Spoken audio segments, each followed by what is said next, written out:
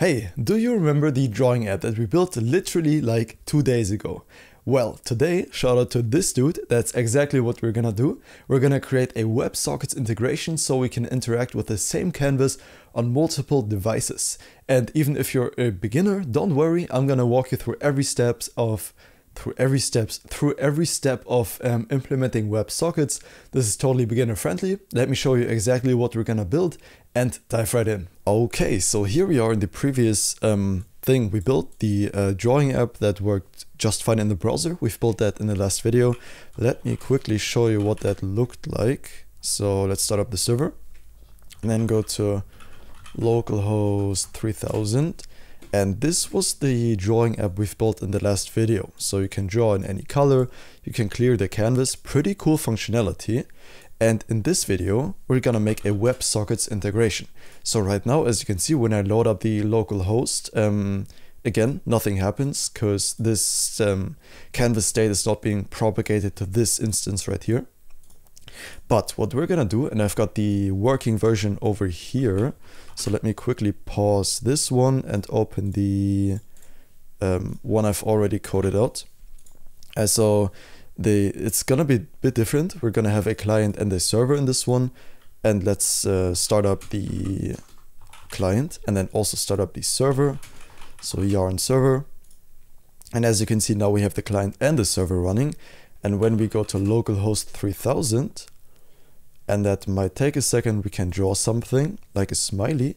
And then when we go to localhost 3000 in another tab, we can see what we have previously drawn. And if I open them uh, side by side, um, you can see whatever we write or draw on one of them, we can also see on the other one. And we can clear the canvas, that will work for both as well. And how cool is that? And that's what we're gonna work on in this video. And if you've never worked with WebSockets, don't worry, the integration is not that hard. Um, so for now, let's uh, terminate this batch job and also pause the client. And looks like the server's terminated as well, uh, has terminated itself. And okay, I've got that project open here on my on my left. And uh, we're gonna work on integrating this in this um, current project that we've built out in the last video. And I think the first thing we're to start with is um, installing the packages we need. So let's add um, the socket, socket. Oh, actually, no, let's not do that. I think the first thing we're to do, I've got my OBS open here, um, is wrap this in another folder. So let's call it canvas tutorial and put the canvas drawing up in there. And then let's name, uh, rename this one to client because we're going to have a client and a server. And uh, let's also create a folder, call it server. Now let's open that in VS Code. I think that makes more sense because now we can install packages that are specific to the client and that are specific to the server. So let's go into the server directory for a second and let's type npm init dash y. So the dash y is just gonna create the package.json for us without us having to, you know, verify each step of it. So that's way easier. And okay, now we have the package.json. Let's install the npm i socket.io. And let me also see if we need anything else, because, okay, yes, we do. So we also want the um, express, then we need node, nodemon to keep the server running and also TS node because we're going to be working in TypeScript uh, on the server, which is not going to be a huge deal. So even if you've never worked with TypeScript before, do not worry, it's um, going to be really easy. Okay, and now inside of the server, let's create a file, call it index.ts. You can call it whatever you want. You could call it um, like server.ts, I think is very common. And the first things we're going to do is um, import a bunch of stuff. I'm just going to copy this over now, um, the GitHub repo is going to be in the description, so don't worry, you don't have to type this out yourself. Oh, and we also want the npm i add types slash node, so we get rid of these arrows right here. And that should uh, get rid of them. Let me restart the TypeScript server, and I think, no, they are still there. Oh, I didn't um, install them as dev dependencies. Okay, hold up. Let's um, install them as dev dependencies and that should uh, fix the error. Okay, and now, wait, that still didn't fix the error. Cannot find name. Okay, you know what? Let's just uh, declare var require any, uh, whatever. I don't know what this error uh, occurred. Let's just um, get rid of it like that. I know that's um, pretty dirty, but whatever. Um, and now let's import the server from, oops, from socket.io and I'm gonna turn GitHub, uh, GitHub Copilot off for a second here. You can see that's a pretty um, heavy dependency, but because we're on the server, we are not really gonna worry about that. And then we're gonna create a new server instance. Now that's gonna take the server we created up here, the HTTP server, and as a second argument, we're gonna pass an object that has cors, which is an object, and the origin, it's just gonna be a star. So you wouldn't really want the, the star for actual production level projects, but for our local one, that's totally fine. Um, it just means we're allowing anyone access to our server essentially. Okay, and now that we got the server, we can say io.on connection. So that means when, oops, connection. So that means whenever a WebSocket or a client that we're gonna define in a second connects to our WebSocket server, what should happen? Well, the first thing we're gonna receive is the socket. And let's declare this as a function, not as a 7. And as you can see, the socket type is already here, so we don't need to worry about that.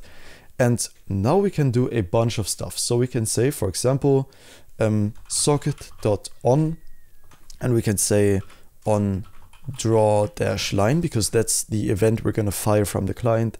In a second, we're going to receive some stuff. That's going to be a previous point, and um, I'm gonna get to why we are receiving those in a second, the current point and the color. Now, how do I know we are receiving these properties? Well, we can go to the um, to the page and we can see in here that the draw line takes a previous point, a current point, a context, which we're not going to pass to the server. And then we're also going to pass a color in a second, so we can actually propagate the color that each client uses as well. Now we still need the type for this and we're going to call it draw line. And this draw line type we're going to define up here, which is going to be an, you know, TypeScript type. The previous point is going to be of type point. Now that point also doesn't exist, so we're going to say type point is equal to an object that has x as a number and y as a number as well. So really simple. And the previous point could also be null. So if we didn't paint anything yet, then the previous point is null. And the current point is gonna be wherever we start painting. So it will always be, um, you know, defined or not null. And then the color, which we're gonna define in a second, is gonna be a string. So that's just gonna be a regular hex string. Now this doesn't work yet, the type draw line, and that is because we also need to define this as a function that will um, infer the types correctly. And now in here, we're gonna say socket.broadcast.emit, and we're emitting the um, draw dash line event, and we are passing some properties as the second parameter, which are gonna be essentially everything we received up here. So the current point, the a previous point and the color. Now, what exactly is happening here? Okay, look, when we are on the client, we're gonna fire an event that is called draw line. And whenever we fire this event after establishing a WebSockets connection to this server right here, so this is the server file, um, whenever we fire the event from the front end, the WebSockets are going to pass this event to the server and we are listening to this specific event. So if we fire it from the client, we're going to have to say draw line exactly like here. And then the server is going to listen to that event. We are going to pass the data from the client to the server. And then whenever the server listens to that event, it emits to all other instances that are listening to the uh, WebSockets connection um, these exact data points, but not to the one that sent it. So imagine we have, um, you know, uh, let me let me draw that out for you. Give me a second. So imagine this: we have a, um, let's make a new layer. We have a bunch of clients right here. So we have a client, another client, and then another client, and then we have the server. So the client in this instance would be um, this page right here. And then the server would be this index file um, that we're also going to host. And whenever one client draws a line, that change will get sent to the server. The server is then going to receive it right here um, at the draw line event, and it's going to get the data that we pass from the client to the server. And then this socket.broadcast.emit means we're emitting that event to everybody that is not the sender. So we're sending the draw line to this guy and this guy, but we're not sending it back to this guy because this client already knows where the line has been drawn because it was the one that originally drew the line. And uh, yeah, that's pretty much what we're just doing here. So nothing like no rocket science. And um, there are a couple of things on the client that we still need um, to do for this to work. And I think the first thing that makes sense is to abstract this logic into a um, helper function. So let's um, cut it out of there. Let's have a new folder, call it uh, utils, because I think, yeah, we don't have one yet. Let's call this function drawline.ts, export that uh, constant, and uh, wait, that is not what we wanted to do. Um, let me check what I did in the real one. Okay, we are gonna remove this again, export constant draw line, which is gonna be a function. And then in here, we're gonna uh, define all that stuff. And this function is gonna receive a previous point, a current point, the context of the canvas that we are drawing on, and then the color, and that is gonna be of type draw line props. Now, if you're working along in TypeScript, nice. If you're not working along in TypeScript, so in JavaScript, uh, you don't need to worry about the types at all.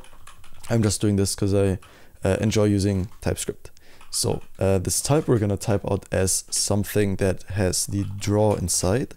And if you don't know that uh, draw type is something we defined in the last video, we created a um, file called typings.d.ts and in here we typed out the types we need for that.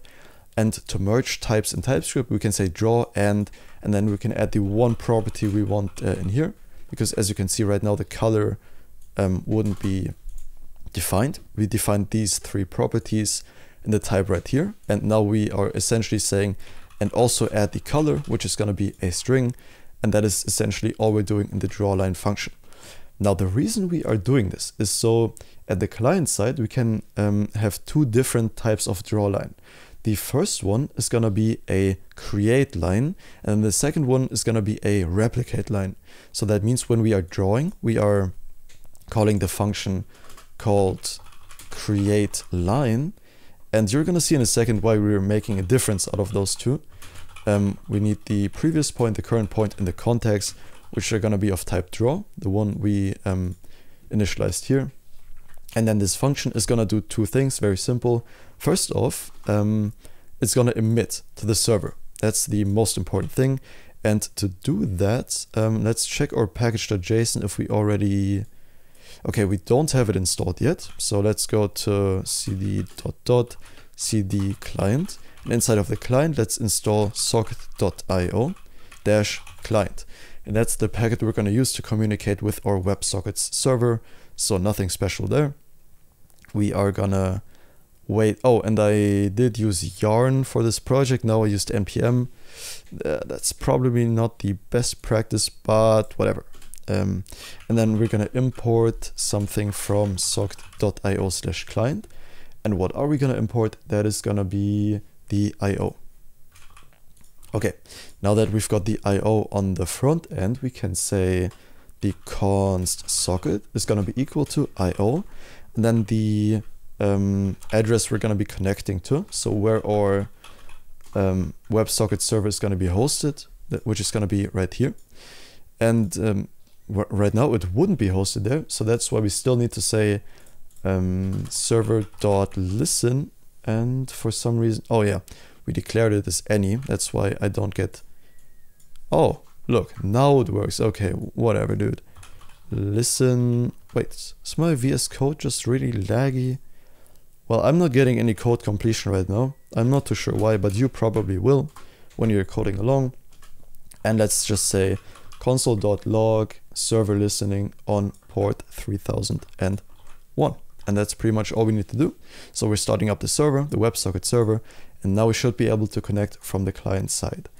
Let's um, let's just start up the server for a second. Um, let's have one client. We can call it um, client. That's what I like to do when I work with a client and a server. Rename this to server. And then in the server, let's go into the server and say Oh, we can't start the server yet because we have to update the package.json.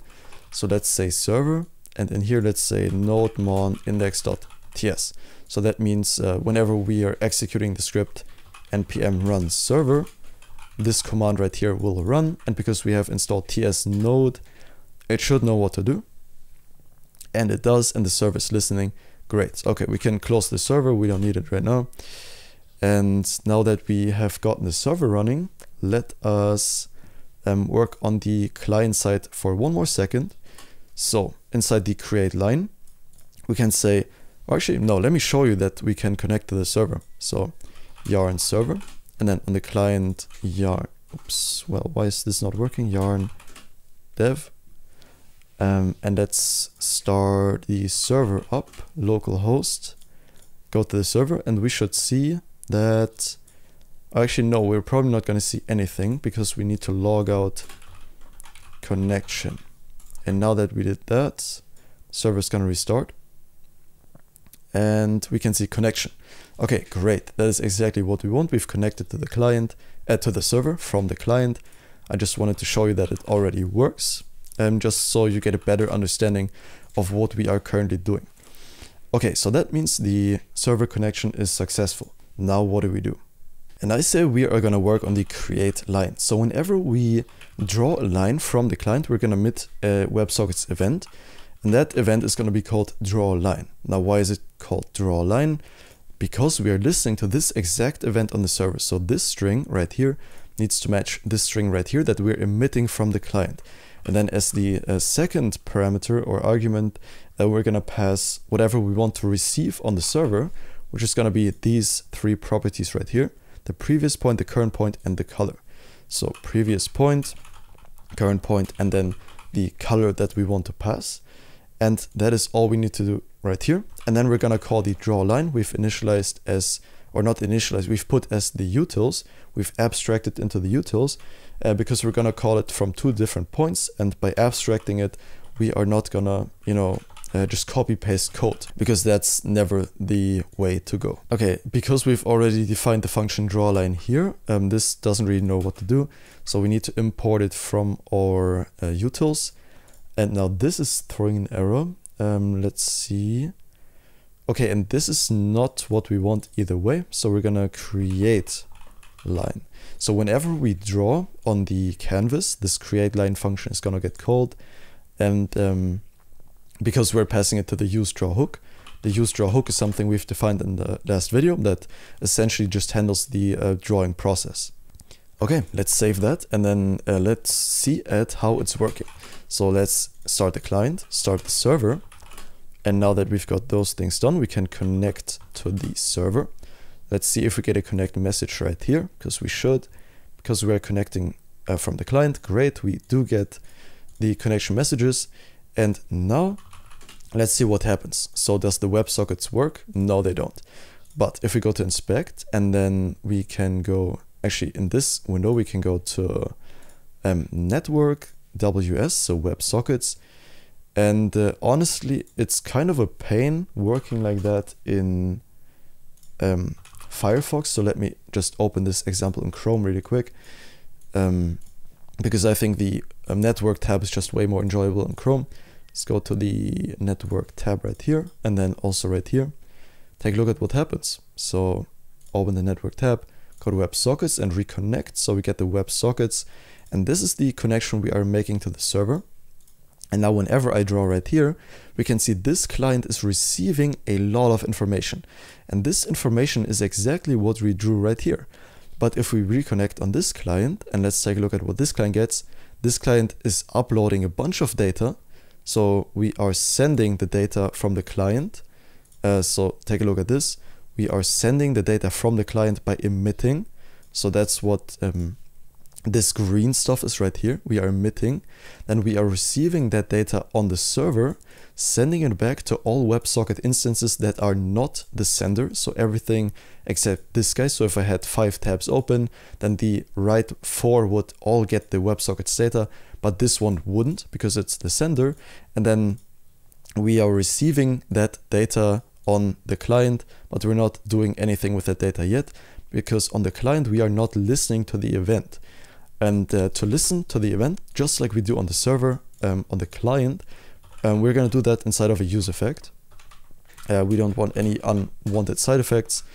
Um, have that with an empty dependency array.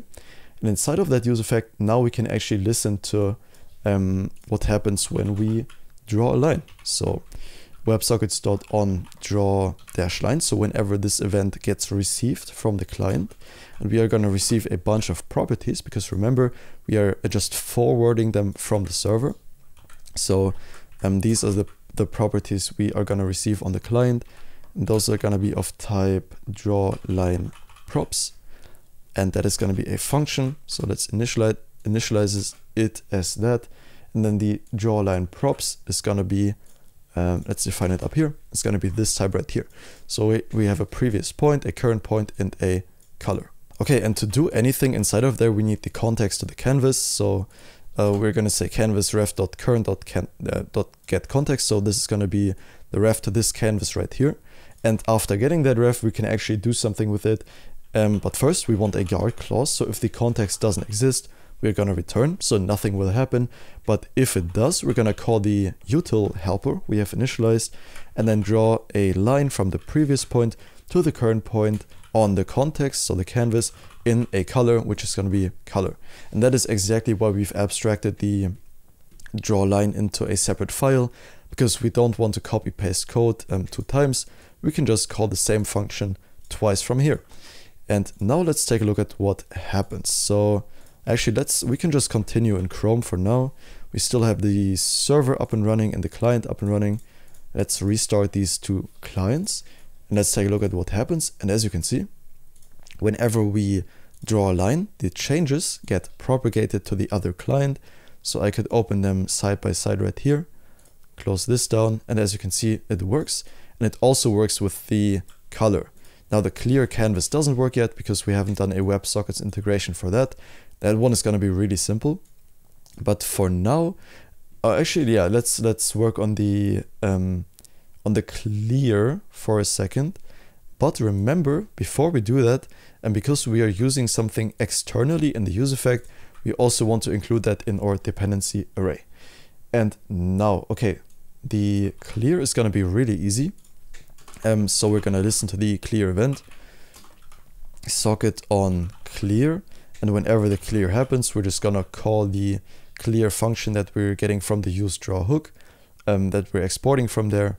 And now when do we want to clear this? Well, we can just say in here, um, socket.emit clear. That's all we need to do. Then on the server, we need to listen to that event. So we can say socket.on. Um, the string needs to match, so it's going to be the clear. And then we're going to say io.emit clear. And the difference between socket.broadcast.emit uh, and io.emit is that, well, we are returning this one to every everyone but the sender. The io.emit is literally gonna emit the event to every connected instance, so every canvas is gonna be cleared. We can save that, take a look at what happens. Um, so we're gonna draw something, we see the drawings here. If we clear the canvas, the canvas is cleared for both. Great. Now, the only problem that I have with this integration is that whenever we are not connected and draw something, and then connect, as you can see, the drawing does not show up for the second client that connected, which is something you definitely want in a, you know, something like a game.